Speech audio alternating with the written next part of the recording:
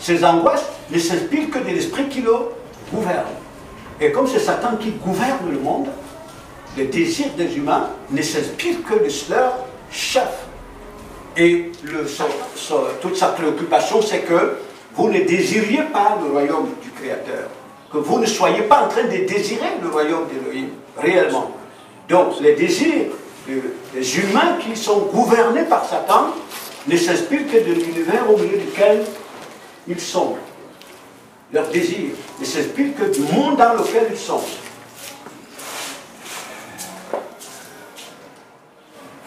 Les désirs des humains qui sont gouvernés par le pionnier reviendra tout à l'heure. Donc quelqu'un va nous lire euh, Ésaïe 53, nous allons lire le premier verset et le deuxième verset.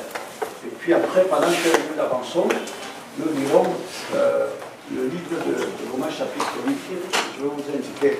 Ésaïe 53, Ésaïe 53, premier verset. À partir du verset 2. Qui a cru à ce qui nous était annoncé Qui a reconnu le plan de l'éternel? Il s'est élevé devant lui comme une faible plante, comme un rejeton qui sort d'une terre desséchée.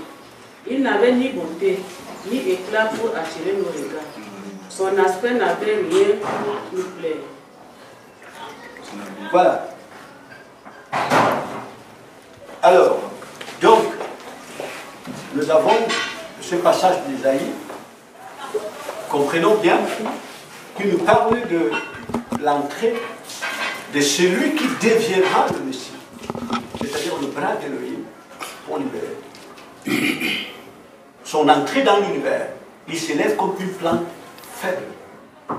Et là, nous sommes dans les dimensions physiques, hein, totalement effacées sur le plan physique. De telle sorte que ceux qui définissent les hommes puissants à partir des composants du monde, celui-là, il ne recevait, quand il le regardait, il ne pouvait que cacher. Vous voyez très bien. Ceux qui définissent des hommes riches à partir des composants du monde, le Messie sur le plan extérieur n'avait aucun critère qui favorisait d'être classé parmi cette catégorie. Un être fait, j'ai dit d'apparence. Hein. Et c'est à partir de là que vous allez comprendre le devenir du Messie. Et ce qui peut être votre devenir exceptionnel. Parce que l'identité du Messie est le fondement du devenir de tous ceux qui sont appelés à hériter du Créateur. Donc il n'avait rien qui attirait le regard des hommes, on parle bien des humains, c'est-à-dire ces humains qui ne voient pas les choses à partir du Créateur. Ces humains qui voient les choses à partir non seulement des yeux de la tête, mais à partir aussi de la fausse intelligence que Satan donne. Mais est-ce que pour Satan, le Messie était-il un pauvre? Non. Satan savait clairement qu'il avait affaire à un géant, à un grand esprit. Il le savait. Et c'est pour cela qu'il a passé son temps à dresser les ignorants contre le Messie. Il savait clairement, parce que Satan, ce sont des esprits. Nous disons que c'est des intelligences. Donc, il n'a pas les mêmes critères d'évaluation que lui-même suscite. Lui, il vient d'en haut et connaît les vraies valeurs. Satan sait que la richesse n'est pas le périssable. Il le sait. Mais pour euh, brouiller l'intelligence des humains qui sont en dehors de l'intelligence, il les oriente vers ces choses-là. Il n'avait rien qui attirait le regard des hommes, méprisé de tous les hommes. C'est-à-dire, on parle là des humains psychiques. Parce que le Messie doit être, il doit être le repère du monde. Il est l'homme qui a la, il est l'homme par définition. Il est la fin de l'homme, l'accomplissement de l'homme. Donc l'homme émane du Créateur. L'homme doit être la réplique du Créateur. C'est-à-dire au-dessus de cet homme esprit, aucune créature ne doit être au-dessus de lui. Il doit avoir tout sous, ses pieds. C'est ça son Il le perçoit. Et c'est ce devenir qui va inspirer sa prière. Il ne va pas s'inspirer, il ne va pas s'inspirer de. Il ne va pas s'inspirer, je ne sais pas, vous comprenez, parce que Hérode c'était des principautés spirituelles. Il ne va pas s'inspirer parce que le Messie est né dans une famille humaine. Il avait une, il avait une généalogie qui le liait à la famille humaine. Donc à certains moments, certains de ses cousins pouvaient réussir dans les affaires. Certains pouvaient devenir même des docteurs, docteurs en théologie, je ne sais pas quoi. Mais il s'en foutait de tout cela. Parce que le Messie savait clairement que derrière ça, il y avait une énergie de tromperie. Vous voyez bien? Quand vous avez dans, au sein d'une famille, voyez bien, dans un monde où on définit tout à partir du périssable. Quand vous avez derrière, dans une famille, un individu qui devient le support de l'impie, pour pousser tout le monde vers la matière, ça devient un facteur de pression, un facteur d'inspiration de prière. Ou des fois, vous allez même dans la chambre, vous dites, mais Dieu, mais comment toi tu me laisses sans argent? C'est pas. Cet individu devient un facteur d'inspiration, des désirs, des préoccupations, d'envie. Des fois, quand vous le regardez, si vous définissez à partir des éléments qui lui donnent la puissance, vous avez honte de vous-même. Vous dire, mais c'est quoi? Quel Dieu j'ai pris? Mais le Messie était à l'abri de tout cela. Est-ce que vous comprenez? Donc, s'il est apparemment une faible plante, c'est pour les ignorants. Mais il vient d'en haut. Jean-Baptiste nous dit celui qui vient d'en haut est au-dessus de tous. Et lorsque vous lisez euh,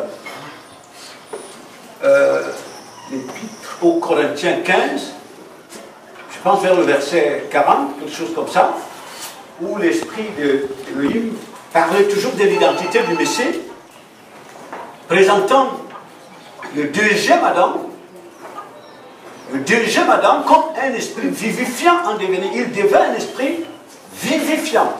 C'est-à-dire c'est lui par lequel, cet esprit par lequel le Créateur communique ses vertus aux humains. C'est-à-dire élève les humains à la vie.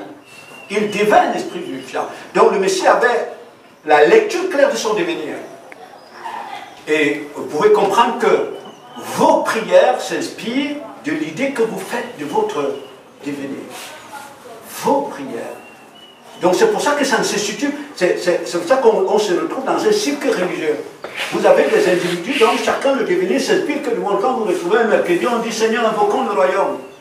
Que ton royaume vienne, alors que le Créateur Elohim, lui, sait clairement que son obsession, c'est un devenir qui s'inspire du monde extérieur. Il le sait. Vous voyez Je veux avoir une voiture, je veux avoir une maison, je veux même avoir un jet privé, je veux devenir ministre, je veux devenir directeur général, je veux devenir... Mais c'est ça, c'est ça votre prière, c'est ça la base réelle de votre prière. Donc aucun de ces éléments ne vient d'en haut, ça s'inspire de votre univers. Quand vous allez dans le, dans, sous l'eau, dans la mer, les poissons prient. Mais les prières des poissons ne peuvent pas s'inspirer de votre sphère visible de votre sphère sociale, les désirs des poissons s'inspirent où? Dans l'univers. Les poissons prient. Quand vous allez dans le monde animal, qui sont dans la forêt, ils prient. Quand le lion a passé 3-4 jours sans arriver à attraper, un bon gibier, vous le trouvez pousser, il prie. Il invoque la providence. Les animaux croient à la providence. Ah oui, ça je vous le dis. Les animaux croient à la, providence. À partir de là, vous comprenez que ces animaux, les poissons dans la mer, les végétaux et les humains psychiques sont régis par la même énergie. Par la même énergie. Vous comprenez? Et donc, au fur et à mesure que le temps passe, le lion, quand il a de la convoitise, quand il veut attraper les il devient méchant. Et ainsi, au fur et à mesure que le temps passe, que ces individus sont habités de la convoitise, il devient de plus en plus méchant. Parce qu'on est dans les évocations, on est dans les évocations d'énergie. Donc, ce qui va mettre dans le Messie à l'abri de l'influence de ces énergies négatives. Parce que lui, ses pensées s'inspirent de, de l'énergie créatrice, du principe créateur. Donc, ce que veut le Père, le Fils le demande, et qu'est-ce que le Père fait? Mais il le réalise. Instantanément, quand le Messie allait en prière, quand il sortait de là, il était un autre une pierre était ajoutée à l'édifice. Il allait donc de gloire en gloire. Mais pourquoi nous allons de ténèbres en ténèbres Parce que nos prières invoquent les forces des ténèbres. Et c'est cela le mystère du monde dans lequel nous sommes. Parce que l'Antichrist va régner parce que les hommes l'invoquent. Tous les éléments de l'univers l'invoquent. Et c'est pas vous comprenez? Oui. Dernièrement, le pape a fait un discours, euh, je pense il y a environ deux semaines. Il dit clairement que quand on écoute les forces qui agissent dans l'univers, tous les paramètres sont, sont, sont rassemblés pour que nous entrons dans une ère nouvelle. Ces paramètres, c'est quoi? Mais écoutez les désirs des peuples. Écoutez, on se retrouve. Qu'est-ce qui est les désirs sont inspirés par qui? Par l'énergie cosmique. Cette énergie qui s'oppose au culte du Créateur. Voyez, c'est cela. Et ça, le Messie le discernait clairement. Le Messie le discernait clairement.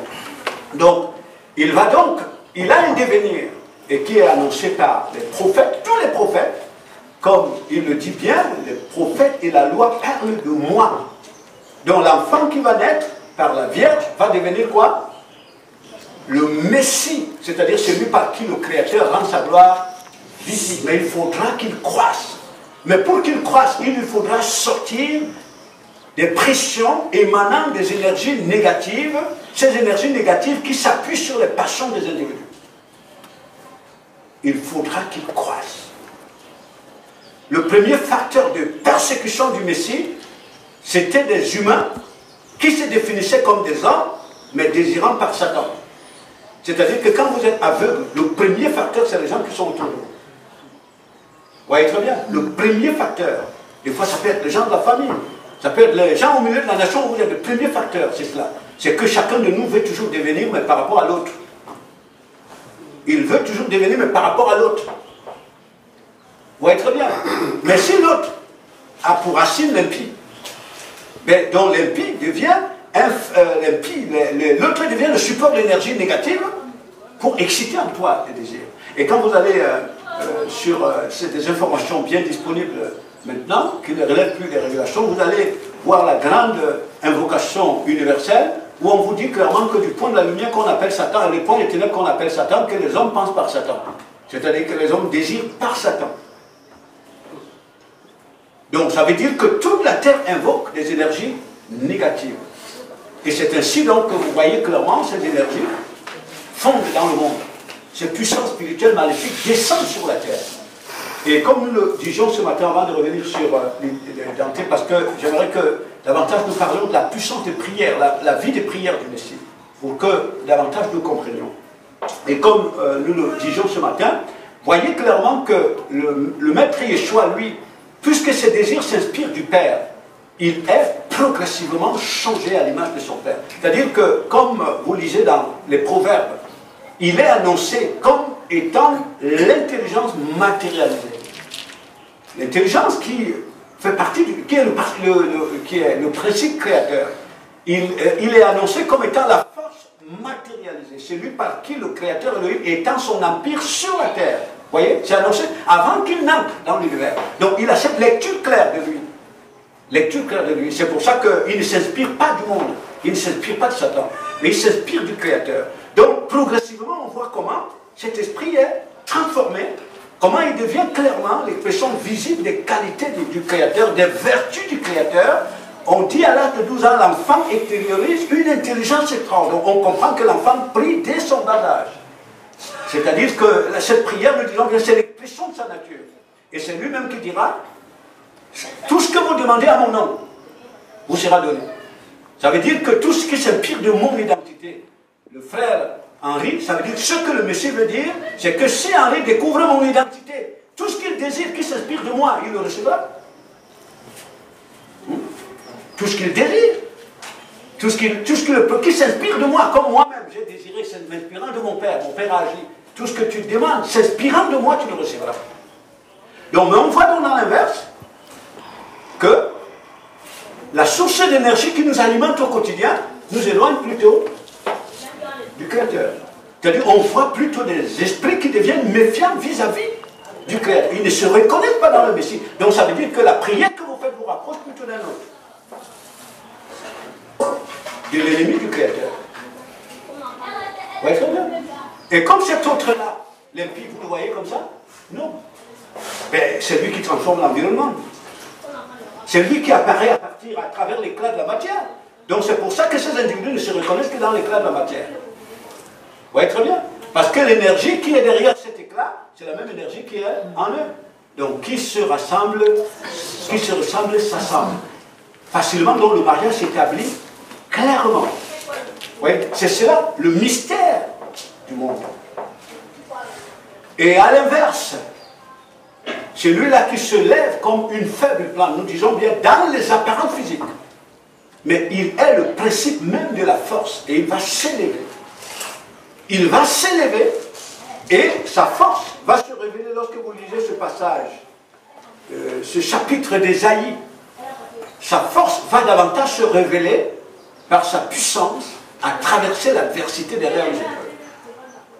Ben, imaginez, c'est-à-dire que pour que vous compreniez réellement la force inimaginable du Messie, l'esprit qui est le Messie, c'est-à-dire qu'en fait, prenez l'exemple que toute la terre est gouvernée par une force effroyable qui détourne toute la terre d'Élohim. Mais vous avez un individu qui suit un chemin à contre-courant. Vous voyez? Ça veut dire que c'est un esprit géant, supérieur à celui qui impose son dictat à tous les autres. C'est là la force. Le Messie savait que c'est là la grandeur. Et lorsque vous commencez ainsi à vous identifier au Messie, vos critères de puissance changent. Vous voyez Vos critères de puissance changent. Vos critères de grandeur changent. Vos critères d'intelligence changent totalement. Celui qui apparaît comme faible, il est la force en construction. Il est la puissance en construction, le Messie. Et c'est donc ce qui va permettre à ce que il rentre dans ce cycle de développement de son intelligence. Et comme je vous le dis, le disciple vrai est appelé à devenir conforme à son maître.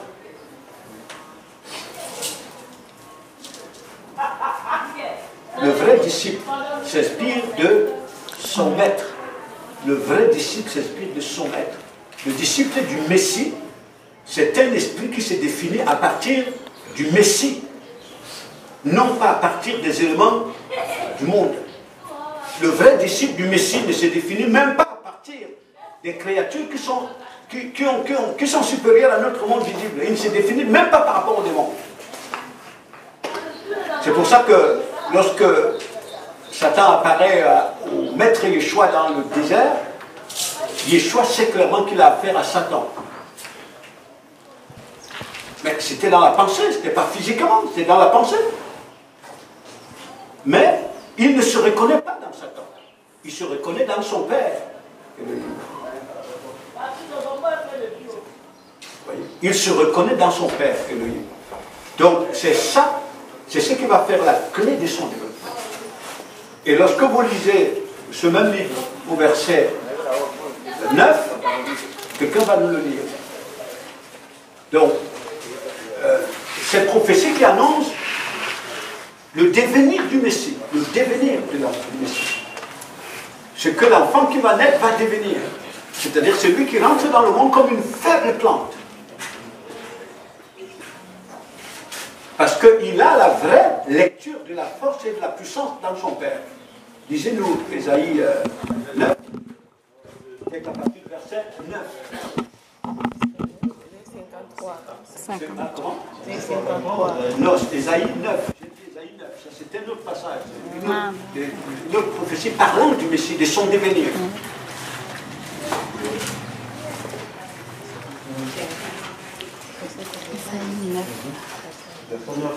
Verset 9, oui. Tu vas lire. Des briques sont tombées, nos bâtiments en pierre de taille. Des sycomores ont été coupés. C'est vrai, ça, ça c'est pas Isaïe. À partir du verset 5. Partir du verset 5. Un enfant nous est Car un enfant nous est né, un fils nous est donné, et la domination reposera sur son épaule. On l'appellera admirable conseiller, Elohim puissant, Père éternel, Prince de la paix, donné à l'Église de l'accroissement et une paix sans fin au trône de David et à son royaume. Voilà. Vous pouvez, continuer la lecture après, mais ce qui est, quand vous revenez euh, sur, euh, dans le contexte de cette prophétie, en fait, c'est une époque où Israël est en déportation. Il subit la domination des Babyloniens. Babylone euh, jouait le rôle de la figure visible de Satan. Donc Israël, à cause du fait qu'il rentre dans une confusion de valeurs, il va se retrouver assujetti aux Babyloniens. Simplement parce que Israël va être déconnecté de son Elohim pour commencer à convoiter les mêmes valeurs que les Babyloniens, les mêmes éléments que les Babyloniens. Il va être envoyé en déportation. Donc, le roi babylonien, Nebuchadnezzar, il est la figure visible de Satan. Et cela nous renvoie au pouvoir du monde, qui n'est autre que la, figure visible de Satan, que Satan utilise pour asservir les esprits. Donc vous avez un peuple qui est appelé à être la projection d'Élohim qui se retrouve totalement asservi à Satan. Donc à partir de là, la vocation de l'enfant qui va naître, c'est de s'élever au-dessus de celui qui a servi, pour qu'il serve d'instrument de retour. L'enfant doit s'élever au-dessus de, la force de la puissance qui a servi Israël. Donc il doit revêtir un pouvoir supérieur à celui des Babyloniens. Au-delà de la figure visible euh, qui représentait Nebuchadnezzar, parce qu'à l'époque c'était des puissances universelles, on peut dire des puissances cosmiques, parce que Babylone dominait le monde. Donc en d'autres termes, Satan dominait le monde au travers de Babylone. Ça veut dire que, entre guillemets, le concept de gloire, de richesse, d'intelligence était babylonien et il gouvernait toute la terre. Comme vous voyez aujourd'hui, toute la terre est devenue occidentale. Toute la terre a été occidentalisée sur le plan culturel, sur le plan idéologique. Et derrière l'Occident, il y a une intelligence qui est perverse. Vous voyez clairement et derrière cette intelligence perverse, il y a Satan. Et son objectif, c'est de contrôler les esprits, domestiquer les esprits. Donc ça fait qu'il a apprivoisé les esprits et ces esprits déconnectés du Créateur sont totalement morts. Morts. Ces humains ne sont sensibles qu'aux besoins de leur corps. Donc, vous comprenez, donc, ils sont réduits à un niveau où leurs prières ne sont que les pensées que Satan leur impose.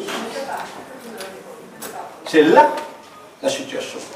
Ça n'a pas commencé aujourd'hui. Le roi euh, Salomon disait que euh, le roi disait que euh, ce qui rien n'est nouveau sous le soleil ce qui est aujourd'hui a été. Vous comprenez? Parce que vous avez un monde qui a, qui, a la même configuration, la même structure. Donc, au moment où, par exemple, nous qui sommes là, lorsqu'à un moment nous servons de support aux démons, quand tu pars, ils vont s'appuyer sur un autre. D'autres vont naître et s'appuyer sur eux. Donc, les démons vont s'appuyer sur toi, tu deviens président du Cameroun. Si tu n'es plus là, ils vont chercher à s'appuyer sur un autre. Mais ce sont les mêmes démons. Ils ont le même objectif. Ils ont la même vocation, domestiquer l'esprit dans la chair. Donc, sortir l'homme de sa vraie identité, celle du Créateur, l'amener à se définir par rapport à la matière, par rapport à la créature. Donc c'est ça ce contexte.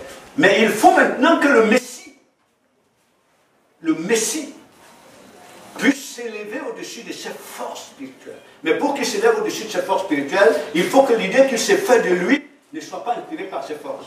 N'est-ce pas? Pour lui, l'idée de grandeur, l'idée de puissance, l'idée de, de, ne s'inspire que de son Père, parce qu'il doit être le bras d'Elohim. Non, le peuple d'Elohim, c'est le bras de Elohim. C'est le bras d'Elohim. C'est le bras d'Elohim. C'est la verge qu'Elohim utilise. Le peuple d'Elohim, c'est la parole vivante. C'est la parole vivante. C'est-à-dire, ce sont des esprits qui sont revêtus des vertus du Créateur, au travers desquels il permet à tous les Camerounais de se réveiller de prendre conscience combien ils sont été entraînés dans le. Donc c'est ce qui fait donc que l'enfant va rentrer dans un véritable cycle de prière. Bon, nous avons fait le fait que nous ne connaissons pas, que nous ne sommes pas conscients qu'on est des supports de l'énergie du mensonge, de la tromperie.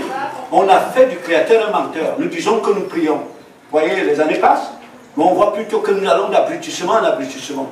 Alors que les vrais qui prient vont d'intelligence en intelligence, ils vont de force en force. Ils vont de puissance en puissance. Lorsque leur prière s'inspire du Messie, à un certain niveau, ils sortent que personne ne peut marcher comme le Messie a marché. Parce que ces gens-là savent, ces esprits-là savent que leur identité c'est le Messie. À un moment donné, ils sortent de leur état, ils rentrent dans l'identité de l'œil dans le Messie. Et c'est le Messie qui marche avec eux. Hein, vous comprenez bien? Quelqu'un va nous lire Romains. J'espère qu'on se comprend bien, parce qu'après, je vais vous laisser le temps de poser aussi des questions. Mais c'est très important ce dont nous parlons, que nous le comprenions. Que le Père nous aide à le comprendre. Je vous dis que là où vous êtes, vous êtes des esprits. Mais ces esprits dans le devenir, c'est dans le Messie. Mais vous, chacun, Jésus pouvait devenir une force terrible. Même un malade mental, s'il est réveillé, et qu'il commence à s'identifier au Messie, je vous dis, c'est une force effroyable. Vous voyez les inégalités parmi les nations? Vous voyez un certain il y a un individu qui sort de l'eau. Il devient la projection des astres Il n'a rien de plus que vous. Mais simplement parce que vous, vous êtes ignorant, vous croyez que vous êtes une chèvre, lui, il croit qu'il a esprit. C'est tout. Et il se connecte aux forces ascendantes qui gouvernent le monde. Au travers de lui, ces forces commencent à diriger. Et vous commencez à le prendre pour un Dieu. Vous comprenez, chers amis?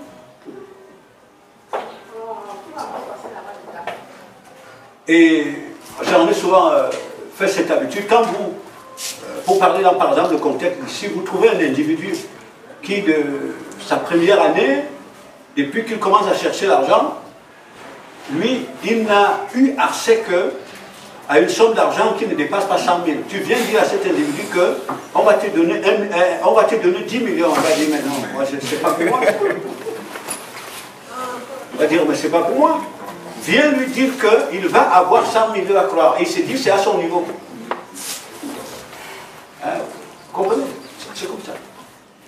Donc, c'est pour cela que lorsque vous avez un individu à la dimension humaine, dont les pensées, les aspirations ne viennent que de Satan, il ne désire que les choses bâties. Quand vous lui parlez du Messie, il dit, c'est pas pour moi ça. Le Messie nous non, ça c'est trop haut. Le Messie est Dieu, moi je suis humain.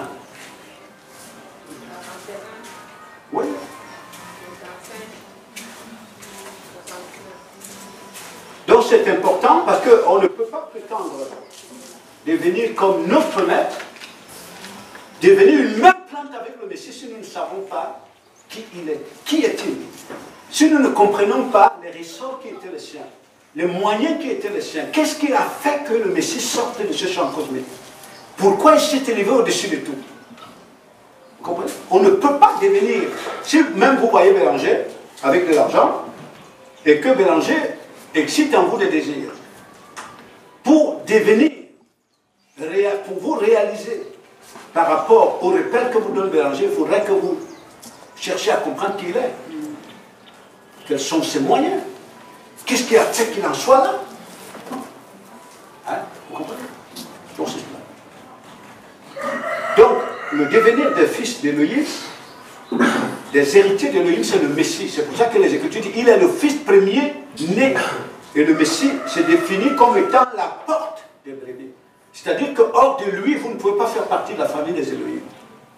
Il est la porte, la porte d'entrée. Pour que vous fassiez partie ici de la, maison de la sœur Valérie, il faudrait que vous accédiez par la porte. Le Messie est la porte. Ça veut dire que son identité est le seul moyen par lequel on accède dans l'héritage que le Père a décidé. Il est la porte.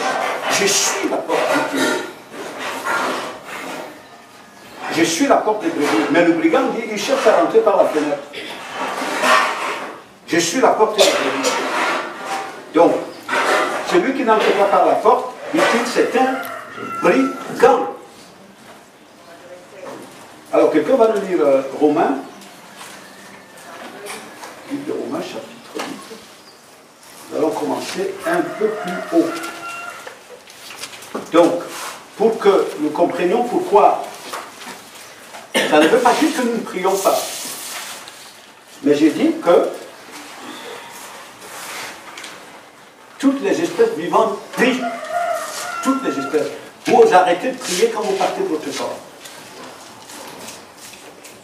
Vous arrêtez de prier quand vous partez de votre corps. Maintenant, la grande question se situe au niveau de la source de vos prières la source de vos prières, source spirituelle, source énergétique de vos désirs. Nous parlons des désirs. Donc, vous ne priez pas simplement quand vous vous retrouvez un mercredi ou un dimanche. Vous êtes tout le temps en prière. Maintenant, à quelle source d'énergie êtes-vous connecté? Imaginez bien que quand vous avez des pensées, elles ne viennent pas de vous. Elles viennent de quelque part. Si elles ne viennent pas du Créateur, elles viennent de Satan. Ce sont ces pensées qui deviennent des désirs. Vous avez des projets, ils viennent de quelque part. Mais le projet, et le Créateur ne peut pas influer sur vous les projets qui sont contre lui. Ou contre vous-même.